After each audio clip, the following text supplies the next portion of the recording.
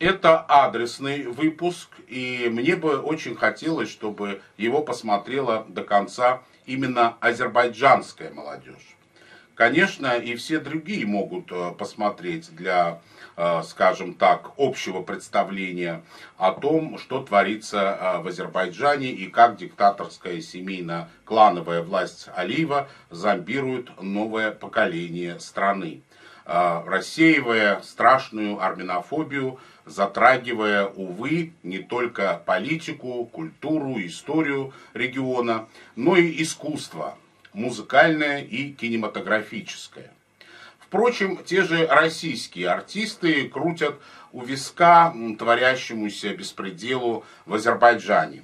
Они едут туда спеть и зарабатывать денег, не больше, но относятся к антиармянски настроенному обществу весьма плохо. Ведь на той же российской киномузыкальной сфере э, десятки лиц армянского происхождения, которые из-за их этнического происхождения в Баку не приглашают. Это Ирина Аллегрова, Игорь Саруханов, Стас Намин, Евгений Петросян, Авраам Руссо, Карен Аванесян, Мариам э, Мирабова, Гарик Мартиросян, Михаил Галустян, Дмитрий Харатьян, Николай Добрынин и многие-многие другие. А, знаю это изнутри, так как э, сам немало лет в сфере э, шоу-биза проработал. Да и те, которые ездят в Баку для того, чтобы заработать денег, как я уже говорил, скептически относятся ко всему прочему и даже с некоторым юмором, как, например, Любовь Успенская.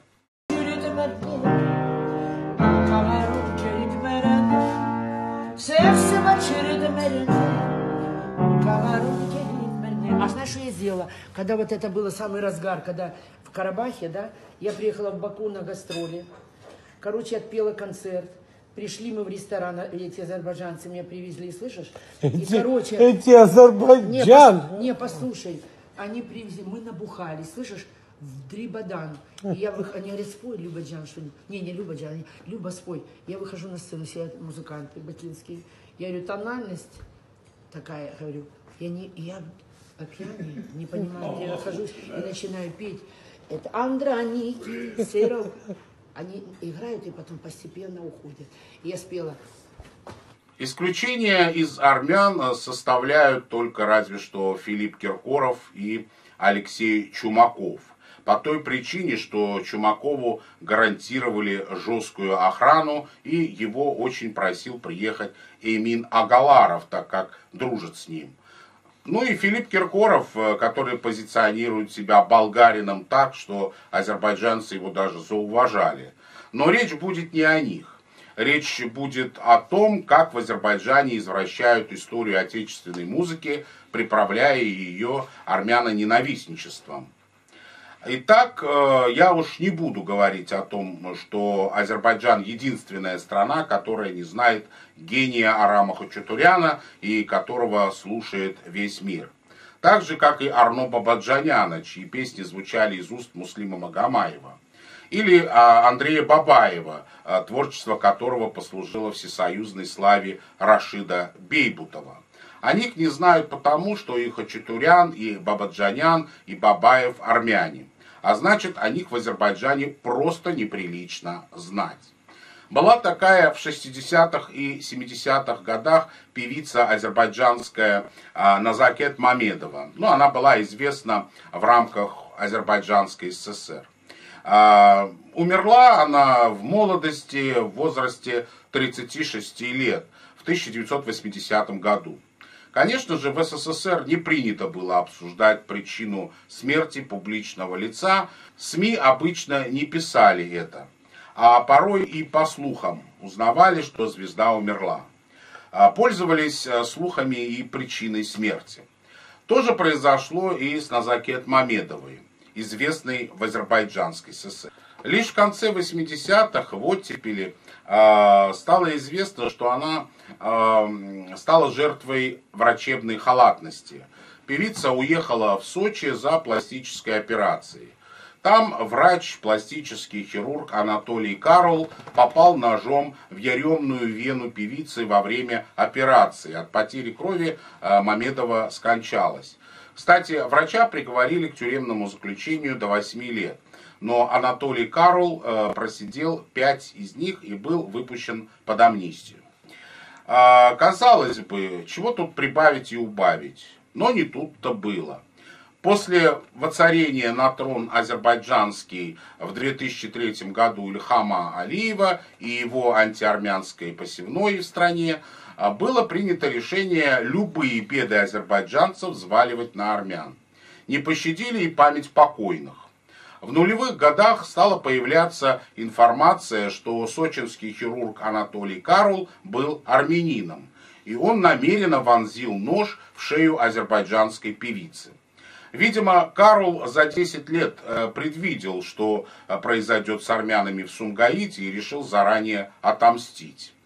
Учитывая, э, что Анатолий Карл вовсе не имел армянских корней, во всяком случае, никто копаться в этом не будет, поэтому азербайджанские википедисты быстренько назвали Анатолия Карла армянином и вынесли это в Википедию на азербайджанском языке. Ведь кто пользуется Википедией в основном? Верно, молодежь. Пусть она и хавает эту туфту. Учитывая, что три слова, стоящие рядом, армянин, кровь и нож, дает э, беспроигрышную прививку азербайджанской головушке, родившейся за последние 20-25 лет и не знающих других президентов, кроме Алиевых и а, армян-врагов, препятствующих всему азербайджанскому. Но Назакет Мамедова обыденно, это мелочи. Я хочу сказать о возвышенном. Например, например о том, как э, связан великий американский режиссер Рубен Мамулян с Аршин Малалан. В одном из серьезных новостных сайтов Азербайджана, новости Азербайджан, э, вышла статья с громким названием «Кража века как Мамулян украл Аршин Малалан. Здесь говорится о том, что в 1937 году американский режиссер армянского происхождения Рубен Мамулян экранизировал в США Аршин Малалан, а при этом, цитирую, скрыв факт авторства Узира Гаджибекова.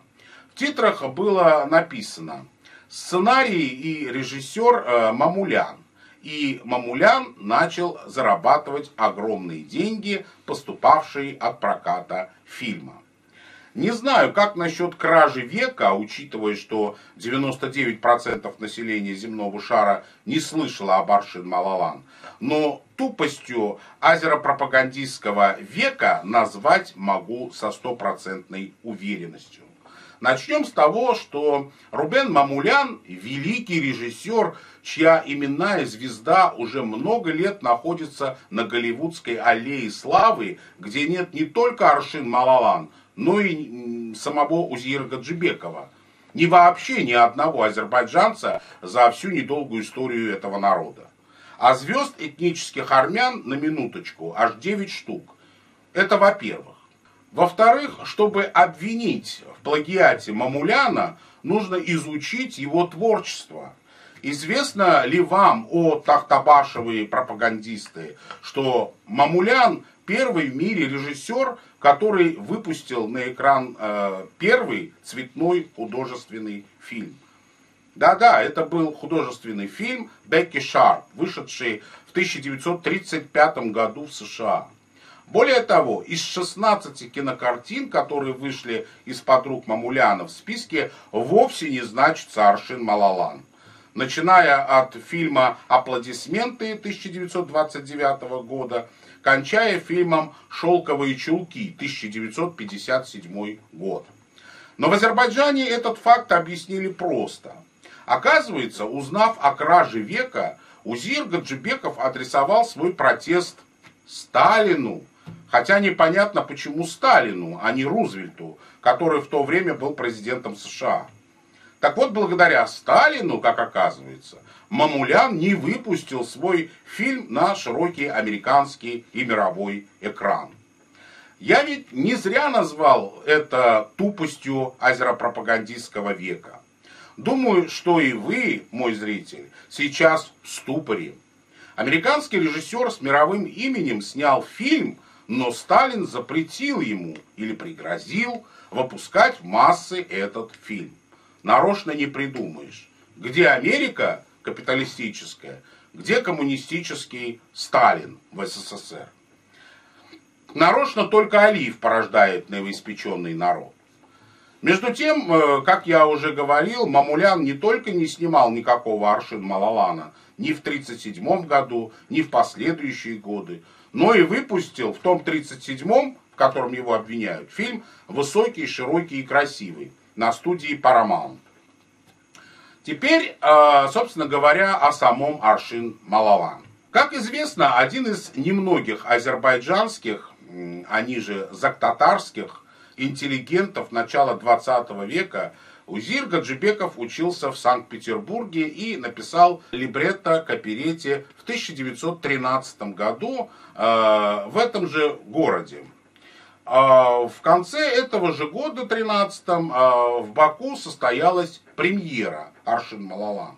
Причем, замечу, премьера хоть была на мусульманском языке, так тогда называли азербайджанский язык, так как сами азербайджанцы еще не знали, что они азербайджанцы, а их язык азербайджанский.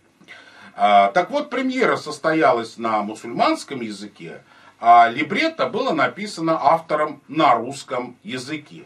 К тому же я неспроста упомянул, что один из немногих интеллигентных азербайджанцев. В начале 20 века уровень грамотности у народа был на низком уровне. А оперету Гаджибекова нужно было, как бы сейчас сказали, распиарить, а самого Гаджибекова сделать известным.